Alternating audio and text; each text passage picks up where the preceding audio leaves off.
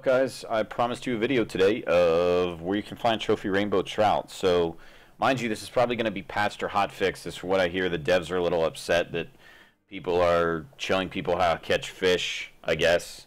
Or maybe that was just the way of some of the higher level people basically telling me that I shouldn't tell you guys how to catch stuff. But I know how frustrating it can be when you're trying to catch fish. My channel is all about helping people. So I hope it doesn't upset anybody. Um, I'm just kind of going to give you the basics of how to land some bigger rainbow trout, and uh, hopefully doesn't make anybody mad. So here we go. So the spot you're going to go to is Ferntastic in Colorado. Um, make sure you have the appropriate license, obviously. And the bait you're going to use is in the top right, which is a lure. It is a spinner. It's an eighth ounce uh, one-aught hook. And uh, one of the guides that actually is on the Steam um, forum shows one, two, three, four trees over, and you cast between the fourth and the fifth tree. That's pretty much true. It's pretty accurate. Um, I would say you're going to set your drag to about two or three, depending on how um,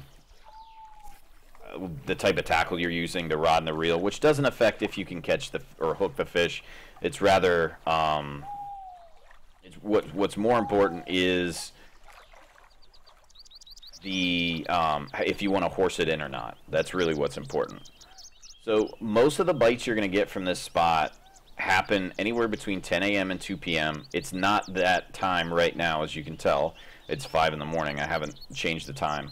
Really, I wanted to demonstrate the technique, and that is lift and drop that I'm using, which is reeling pretty slowly with a 3 drag, and then right-clicking all the way up to the top of your, your stroke, so to speak, with your bait. Um, that's one of the more effective presentations you can use to land the trout. I don't expect to get any because it's real early in the morning. But that's really how you want to present the bait. Lift and drop. And then we'll do the stop and go for you. And uh, I'll be doing separate videos on how to do those techniques. But this is typically what you're going to do with uh, your presentation. Now, as you get into, you know, 50 feet, you're going to have to vary your presentation a little bit. And I would recommend that you change it up sometimes about halfway through because you're not going to be able to carry a lift and drop very easily until you have a lot of practice. Wheeling, you're reeling it all the way in and getting a three present three white dot presentation the whole way through. So we'll just go ahead for S's and G's, skip our time to 10 a.m., which is typically when they start to bite. And that's because uh, currently you can't check, uh, you can't trust this uh, chart currently. Uh, I, I, expect it to be patched, but currently it doesn't function. So, um, moving on, we're going to cast in the same spot we just did. Um, you don't really need to cast any more than 80 or 90 feet. Um, and uh, this time we'll do the stop and go retrieve. So, start that. We'll see if we can hook one up just so I can show you guys. Most of the trout you're going to get here are going to be regular size. There will be some trophies that you can land that are anywhere between 3.7 uh, to 4.2 pounds. And there's a hookup right there, and this is a little bit bigger of a fish, well at least it would seem. Sometimes trout can be deceiving. Um,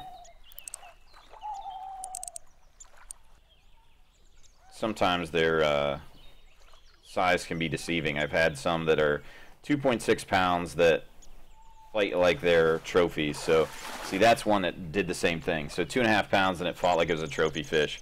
So, keep in mind that your line weight, your reel um, type, and your rod type don't really affect what you're able to catch, but more how you're able to horse it in and how you're going to fight the fish and how far you can cast, things like that.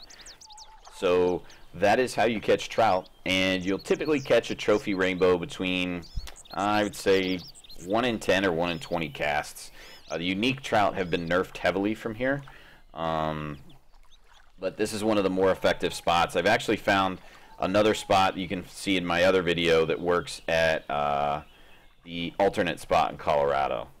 We'll try lift and drop now just to uh, finish off the video and see if we can get another one. Most of my bites I've gotten anywhere between 85 and 55 feet out. Primarily they're further out.